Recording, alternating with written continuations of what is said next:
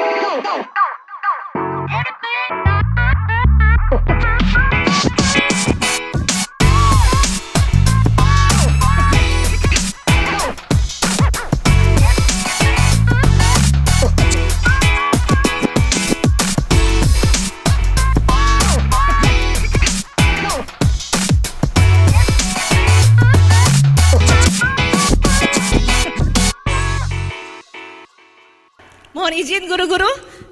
menyampaikan insya Allah detil tetapi singkat padat. Jadi oleh sebab itu karena waktunya mepet, tidak banyak, maka kita perlu konsentrasi ya.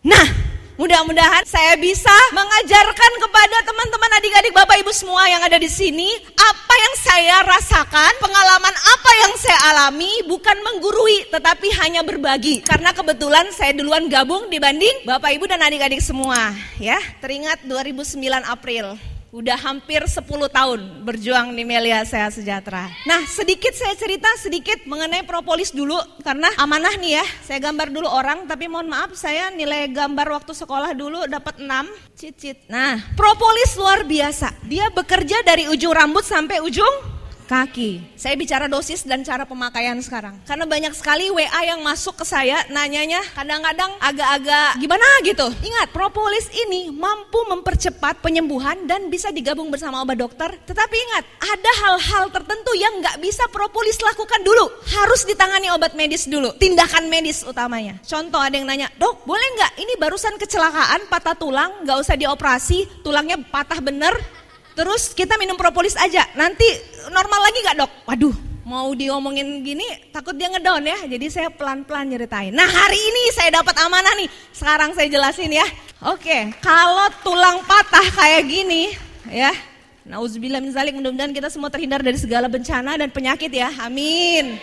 Tapi kalau ada kejadian kayak gini, ini tulangnya segini, satunya gini, kalau diminum propolis, ada nggak kemungkinan ini tulang ketarik terus ngumpul lagi bersama-sama kayak gini? Iya nggak mungkin. Ini harus dioperasi dulu, ditraksi, seret, ditarik, dibenerin. Kadang harus dipasang pen, pasang pen gitu, disekrup-sekrup, barulah kita minum propolis agar jaringannya cepatnya nyatu. Ya kalau kayak gini nggak bisa. Jadi harus kita analisa dulu penyakitnya. Nah kadang juga cuci darah. Minum propolis langsung berhenti cuci darah. Enggak. Cuci darah itu itu toksin racun di beredar dalam darah dalam keadaan jumlah yang sangat banyak. Harus dibantu mesin untuk ngeluarin toksin itu dulu. Nggak bisa propolis langsung. Tumor payudara. Segede gini. Nauzubillah zalik ya. Minum propolis pak. Eh bu. Ibu-ibu yang derita tumor payudara ya langsung ciut kecil. Kalau dia mampu minum banyak sekaligus, mungkin cepat pengecilan, tapi nggak akan bisa menyaingi percepatan tumbuhnya sel kanker. Satu detik sel kanker membelah diri cepat banget. Satu jadi dua, dua jadi empat, empat dan delapan dan seterusnya. Jadi kalau anda minumnya, mohon maaf, otomenten habis gitu ya. Punyanya cuma yang 6 mili, minumnya sehari cuma 5 tetes. Berharap kanker itu hilang, itu nggak mungkin. Kita bicara dosis sebentar lagi, tapi itu harus masuk logika juga. Jadi jangan sampai teman-teman terlalu over dalam mendeskripsikan propolis kepada masyarakat, akhirnya begitu kejadiannya kita malah di, dibalikin. Loh tuh kan kamu terlalu over ngomongnya gitu. Ya kita harus masuk logika dulu, bener kan? Jadi kalau kanker itu bagusnya dibuang dulu sebenarnya. Jangan dipertahanin, dibuang dulu. Nah sisa-sisa kanker itu yang di dalam tubuh yang masih ada, itu baru digempur dengan propolis. Karena benar, propolis itu anti kanker yang luar biasa. Propolis itu ibarat si pisau tajam. Dia bisa membuat sel kanker itu tersayat-sayat. Cas, cas, ada istilah kedokterannya, apoptosis, bunuh diri. Jadi kalau kita minum propolis, ada ketemu sel kanker di tubuh, sel kanker langsung bunuh diri. Suicide program, di program untuk cepat-cepat bunuh diri. Jadi langsung hancur dari tubuh kita. Makanya propolis sangat bagus dijadiin sebagai imunisasi kang kanker. Terutama nih kita-kita yang kaum muda yang makanannya hobinya fast food aja, kurang tidur, kerja keras, 13P tadi, gak sukses-sukses juga, forsir, males olahraga, makannya sembarang, bahkan makannya cuma mie instan aja tiap hari. Ayo ngaku siapa yang gitu? itu ngancem kita kena kanker Bapak Ibu adik-adikku sekalian. Mengintai. Dulu zaman nenek kita masih gadis, itu belum ada tuh mobil banyak. Sekarang mobil bisa dikredit cepet. Polusi di mana-mana. Dulu belum ada fast food fast food. Belum ada dulu zaman nenek kita. Sekarang fast food di mana-mana. Tinggal telepon datang fast food. Praktis, enak, murah. Dan itu semua ngancem karsinogenik. Makanya sekarang rumah sakit pada penuh. Kanker lah, cuci darah lah, penyakit aneh-aneh muncul semua. Dan kita perlu proteksi, kita nggak bisa menghindari itu, kita pasti kena. Tapi yang bisa kita lakukan adalah membuang dari tubuh kita lewat propolis yang bekerja sebagai imunisasi. Jadi kuat badan kita terlindungi. Nah, balik lagi dari ujung rambut sampai ujung kaki. Propolis ini dahsyat sekali di rambut. Propolis bisa nggak ngatasin masalah di rambut? Bisa. Contohnya apa? Ketombe. Apalagi? Kutu, kutu. Diapain kira-kira? Propolis dicampur di sampo. Pernah ada pasien saya kutuan. Banyak banget zaman sekarang masih ada kutu-kutuan gitu. Iya masih kenular itu. Pindah sisir aja udah kena. Pindah bantal aja udah kena.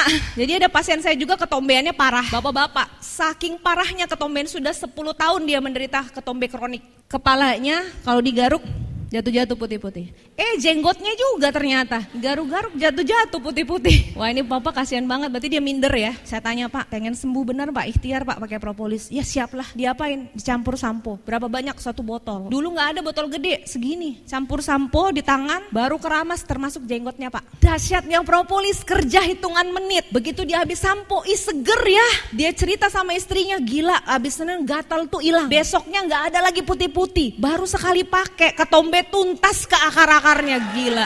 Mata, nah mata. Ada yang pernah tetes matanya ke propol, eh, propolis tetes ke mata? Uh, hampir semua udah keren. Jadi insya Allah propolis ini bisa ngatasi beberapa penyakit mata. Gak semua, terutama penyakit-penyakit yang di depan bola mata. Nah ini kalau saya gambar mata nih ya, ini lensa. Nah, nah ini, ini nih kornea, ini konjungtiva, ini lensa, ini retina retina. Jadi kalau ditetes propolis ke mata itu hanya bisa ngatasin yang bagian depan. Gak mungkin tetes propolis ke mata yang bagus retina sama saraf di belakang. Jadi lihat-lihat dulu pak penyakitnya apa, retinopati, hipertensi. Oh ya tetes aja pak, kok nggak sembuh-sembuh? Iya, retina kan di belakang harus diminum dari dalam. Oh iya iya iya oke. Jadi banyak salah kaprah nih, semua bisa penyakit mata. Insya Allah bisa, tetapi untuk masalah mata merah, mata iritasi, mata gatal, mata berair, kecuali mata keranjang. Tapi kalau mata duitan bisa nggak? Bisa kerjakan Melia sejahtera bisnisnya ngatasin masalah mata duitan, ya. Iya tetesin ya ke depan sini. Nah, tapi saya anjurin nih jangan jangan salah juga nih tes mata. Memang jurnal kedokteran ada propolis bisa untuk mata. Bahkan di luar negeri disediain bener propolis khusus mata ada. Minta sama Profesor Dr. Almah diberikan aplaus pada guru besar salah satu profesor terbaik di negeri ini tapi mencintai propolis dan bahkan mendedikasikan waktunya untuk meneliti propolis. Dahsyat. Beliau ada di Padang, jurnalnya keren banget. Jadi bisa untuk mata, terutama bagian ini kornea ya. Kalau ada korneanya burem, nah itu coba ditetes ya. Kalau ada konjungtivanya meradang akibat virus virus konjungtivitis itu bisa banget. Satu kali tetes pasien itu konjungtivitis langsung sembuh. Nah tapi netesin ke mata itu hati-hati juga. Kenapa? Karena kalau kita langsung, Pak buka mata, het, tetes langsung, bus bus, wah, pedihnya luar biasa, kapok-kapok dia deh. Ini mau dibunuh atau apa nih? Gitu. Jadi pakai teknik, caranya propolis itu bagus, tapi jangan langsung sekaligus ditetes ke mata, kaget mata kita, malah jadi shock nanti. Caranya adalah tetes ini dalam keadaan mata tertutup, tetesnya di pelupuk mata aja, tapi di pelupuk mata yang tempat keluarnya air mata di sini nih, tut tut gitu. Satu tetes, ces ces, Baru setelah itu nanti sambil dipijit-pijit buka sedikit kelopak matanya atas bawah. Jadi masuknya dikit, dikit, dikit nggak kaget. Sambil air mata kita keluar jadi dia menetralkan gitu loh ngebersihin. Ibaratnya wiper. Ya pernah lihat wiper mobil? Nempel tuh kotoran burung jeblet. Terus langsung keluar air kita sambil cut cut cut gitu ya. Nah kayak gitu, masuk tuh propolis langsung keluar mata sambil kita kedip-kedipin, cit cit cit. Nah jadi kayak kaca burem di zelap, eh jernih lagi, terang lagi. Gitu ya, caranya gitu, jangan langsung. Telinga juga bisa tuh, tapi masalah telinga yang mana dulu? Masalah telinga luar dan telinga tengah. Kalau telinga dalam mah nggak bisa hanya ditetes, harus dimi, diminum. Anda sudah lulus biologi? SMA pasti belajar biologi, benar nggak? Ada yang belum tamat, banyak. Yang masih SMP ada. Wih, masih SMP deh, duduk paling depan, keren. Kelas berapa sayang? Kelas 2 SMP. Coba berdiri dulu, berdiri dulu, liatin dulu. Bayangin umur masih belia, tapi sudah duduk paling depan untuk perubahan hidup yang lebih baik. Ini patut diacungin jempol nih. Udah gitu cantik lagi, calon leader. Saya sangat bangga sama anak-anak muda yang kayak gini antusiasnya. Kenapa? Karena sukses di usia tua sudah biasa, tapi sukses di usia muda itu luar biasa. Apa kabar anak muda? Wah, keren ya. Telinga, balik lagi ke telinga. Ada yang pernah ngalamin keluar susu kental manis dari telinga?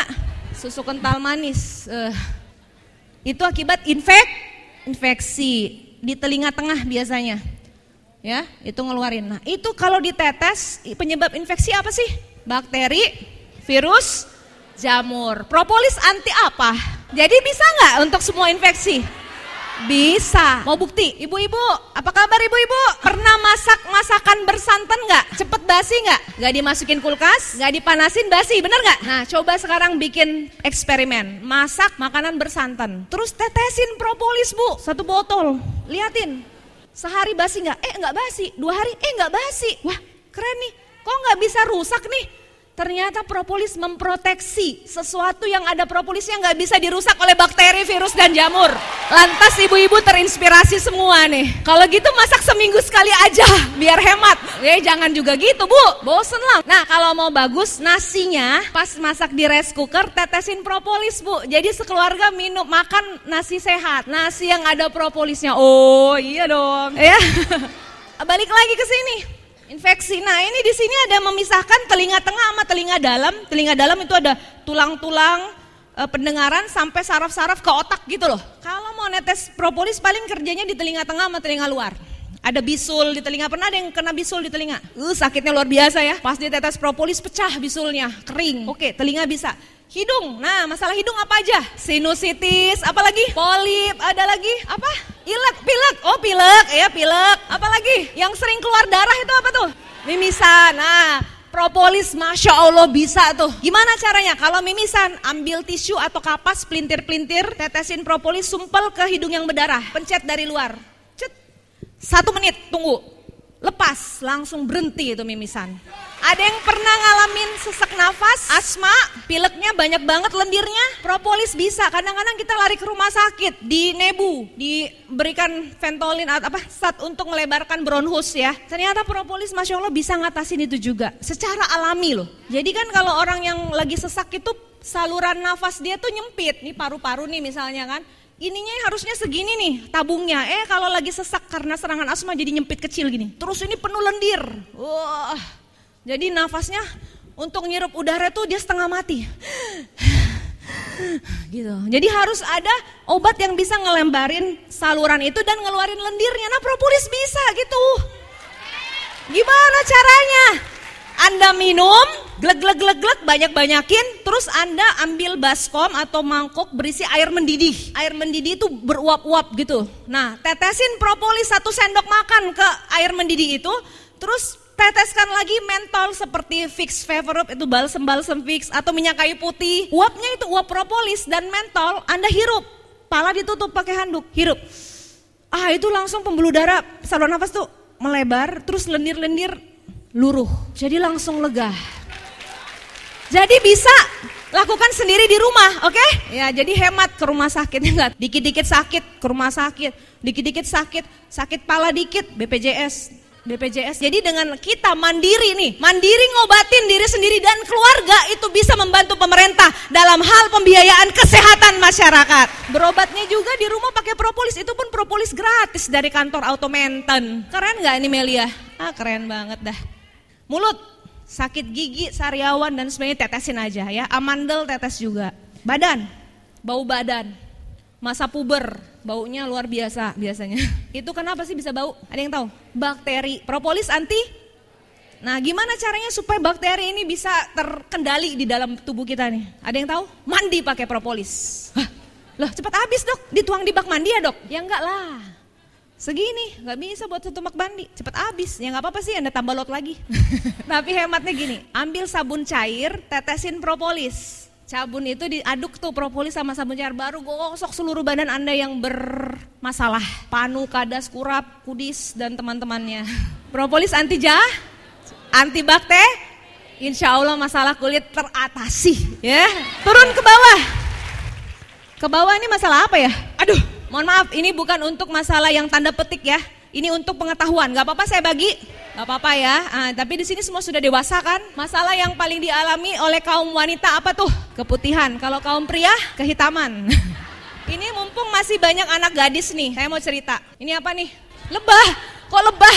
Mana sih lebah? Ada sayapnya dua. Ini rahim, pengetahuan. Kalian pasti udah belajar di biologi. Tapi sekali lagi saya ingetin, anak gadis, kalian yang masih gadis, ya, tolong jaga kewanitaan dalam kebersihan dan kesucian. Ce. Oh, soalnya gini, banyak angka kejadian sekarang kesulitan punya anak. Gara-gara apa? Infeksi keputihan dari remaja. Gak diobati sampai dia nikah. Jadi infeksi kronik. Ini nih, kalau ada infeksi, ini kesumbat nih, saluran telur. Infeksi panggul mengakibatkan tuba, tuba, saluran tuba falopi itu jadi nyempit, gak bisa masuk sel telur untuk bertemu sperma di sini. Nah, jadi kalau ada keputihan langsung diobati. Nah, caranya gimana menghindari keputihan? Kenapa sih keputihan terjadi? Penyebab keputihan paling banyak apa sih? Jamur, ya. Kenapa daerah situ suka berjamur? Lembab. Kenapa lembab? Sering dicuci nggak pernah dijemur. Bercanda. Ya siapa yang mau jemur juga ya? Maksudnya gimana maksudnya? Kalau habis buang air tolong dikeringin bener-bener gitu ya. Dan jangan pakai WC umum nyeboknya pakai air yang ada di kamar mandi. Karena air yang lagi nampung di situ itu udah bakteri ngumpul semua di situ tuh. Ini bak tempat nampung airnya ini WC tempat buang hajatnya sebelahan. Sering dengar gitu? Sering lihat? Ada timbanya bener nggak? Terus buka air kerannya mati pula nggak keluar air. Anda pakai tuh air di situ nyebok, ya udah ketularan. Kita nggak tahu pengguna WC sebelumnya kena sakit apa, ya ketularan kita, bener nggak? Nah jadi bagusnya adalah kita jaga, jangan pakai air yang nggak ngalir. Kalau bisa air yang mengah, mengalir. Kalau airnya nggak ngalir, biasanya di kampus-kampus sering nggak ngalir air, bawa aqua dari luar demi masa depan keturunan kita. Bener nggak? Sehat itu mahal ya. Tapi lebih mahal lagi kalau terbaring sakit. Bener nggak? Benar ya, oke. Okay. Ambeien juga, saya ada pasien kemarin, dahsyatnya propolis ya. Seorang pejabat, dia menderita ambeien, ini di Pulau Bangka. Menderita ambeien parah banget sampai darahnya ngalir kayak keran dibuka. Uh, udah berobat ke mana-mana nggak sembuh-sembuh dia. Dia nggak mau dioperasi, jadi dia serba salah nih. Dokter juga bingung kan. Terus datang seorang bapak-bapak Bapak ini kepercayaannya tinggi sekali sama propolis. Bapak ini member dan dia juga punya keahlian sebagai apa sih istilahnya paranormal gitu ya. Ya pokoknya kayak orang yang ada ilmu kayak gitulah. Tapi nggak tahu juga saya juga nggak jelas juga kayak dukun-dukun gitu nggak tahu juga. Tapi jelas dia punya karisma dalam hal pengobatan kayak gitu. Orang masyarakat tahu. Nah suatu hari dia bilang gini, Pak, Bapak udah berobat ke mana-mana. Yuk, pakai ini gitu. Caranya gimana? Satu botol diminum, zaman dulu belum ada yang besar, jadi satu botol diminum langsung, satu botol masukin mohon maaf ke situ, tapi bukan dengan botolnya, airnya aja.